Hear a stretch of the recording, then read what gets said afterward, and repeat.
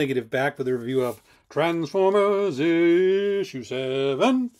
Okay, this is the start of new artist Jorge Corona, who I don't know know too much about, at least at least his pencil work.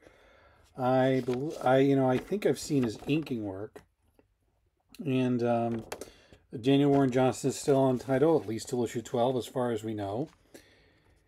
And there was a lot of concern over whether uh, Corona could keep up with uh, Johnson's phenomenal art in the title. And I have to say, with this issue, he does a pretty fantastic job. I mean, I think uh, he's leaning a little too much on trying to look like Johnson just to keep, keep continuity. But you know, it's kind of, I remember when I was a kid, I really loved the uh, Don Perlin, Ian Ack, and Brian Garvey art team, which was around from issue 14, 13, 14. Perlin was on it around thir- issue 13 all the way through 35. And then Jose Jose Delbo took over with 36. And like Jose Delbo, who passed away recently, um, Mr. Perlin, thankfully, is still with us. And uh, I wish I, I, I, have, I would have got a chance to meet both men. But I remember being weirdly devastated over Jose. De- I mean, I got used to Jose. I, th- I thought Jose Delbo was a good artist. I never quite thought he was a good artist for Transformers, but um, I also think he was with an era that I, with the majority of the one I did not did not enjoy looking, whose art I did not enjoy.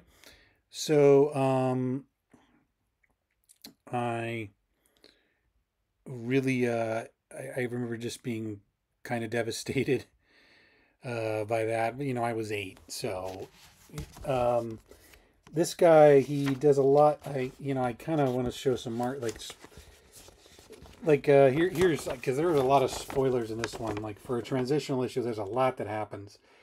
This uh, we have this interesting opening four page sequence in Cybertron.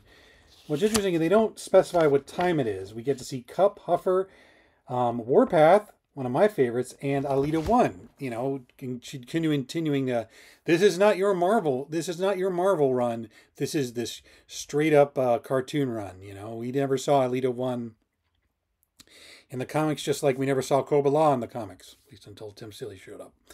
Um, I, I will say, like, um, Corona is more traditional as late in his uh, uh, layouts. Um, less like hyperactive manga influence. It's it's interesting. Like some of it's great.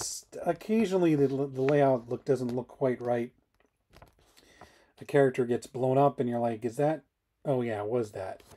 Um, and there's a but anyway, this sequence we see Elita one. Um, she and uh, other familiar faces, like I said, Huffer, Warpath, Kup, are looking for something, and then it's in a beautiful drawing, but we don't know what it is. And then there's a and then we then uh, we find out uh, Starscream for once there are consequences to its actions. You know, like we always get to the point where Starscream, but this time he's confronted by another character, which I'm not going to spoil.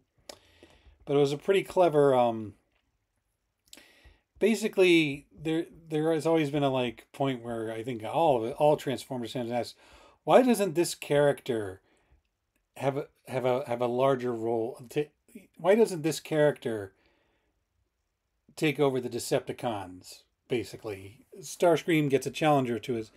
And it's a character that, quite frankly, considering his intelligence and fan base, as, um, yeah, why not, why not him?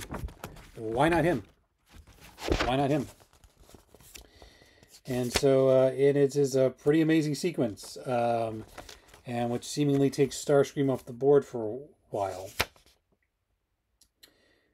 and uh, it's going to be really interesting because part of this issue is also um, we find that we get an update on Carly, and she is obsessed with getting revenge on on Starscream.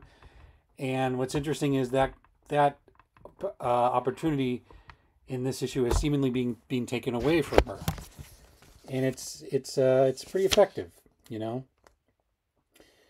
She gets the speech about um, don't let the from Arcee Arcee Arcee is like, don't let the hate consume you, and she tries to explain that to explain that to her, and we see another familiar face in a flashback. And because it's like the the Decepticons are bad, but the Autobots are tired.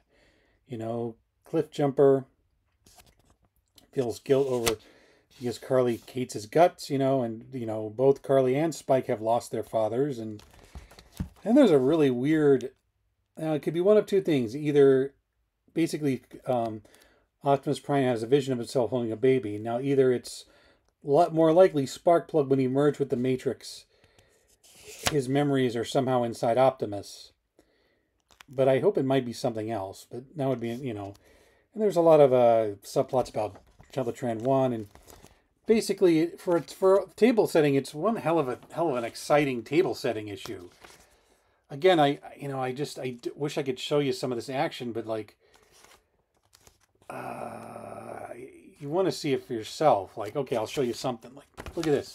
Look at this right here. It's Boss, you know.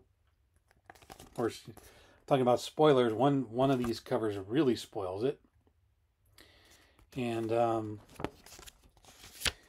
but again, like this just feels like the characterization is solid, the pacing is good. Like, why is this one of the best comics on the market? Why is a Transformers comic the one thing that's animating people right now?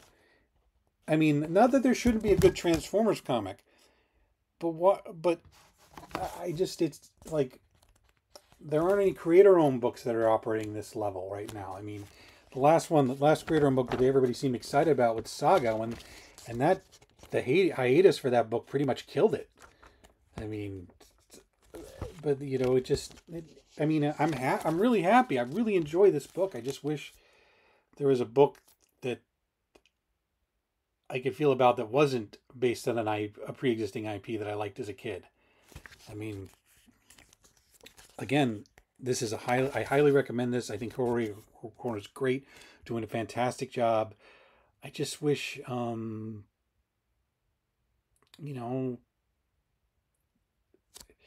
like you know, it's just this is great. Like, why can't everything be great? Why can't like a lot of other books be great? Why can't anybody? Why can't current creators operate on the level that this is operating at like you know and i don't and i i don't want to disp i mean there are you know creator owned books i'm liking like local man that's a very good book um and i i have to say i think that's operating on a pretty good level but i also just feel like there's just something missing in the, in the it's been missing for a while and uh, and i don't think comicsgate is a solution to that problem before you ask anyway, um, once again, I highly recommend this. Um, once again, like and subscribe, hit the bell for notifications. Just read this book. You will have fun. It looks great. Um, and uh, I think there's a lot, it does say a lot about the character, you know, it examines the character's trauma without wallowing in it. And anyway, um, thanks a lot, and I will see you a bit later with more reviews.